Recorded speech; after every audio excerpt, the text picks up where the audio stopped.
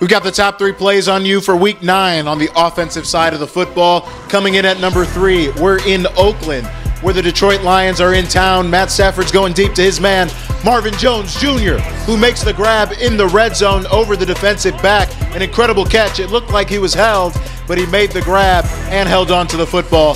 That's at number three. Coming in at number two, we're on Monday Night Football. We've got the New York football giants. Daniel Jones steps back, goes to his left for Golden Tate on the sidelines, who does his best Odell Beckham Jr. impression, makes the one handed grab and gets his two feet in. Let's take another look. Daniel Jones throws a nice ball here, only where Golden Tate can get it. He makes the one handed grab and gets two feet in bounds. That's number two.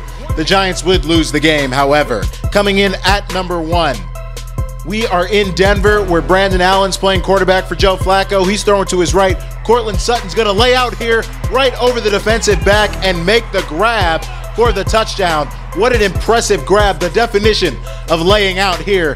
Courtland Sutton determined to score. Broncos would win. Those are your top three plays on the offensive side of the football. Week nine. Top Fan TV.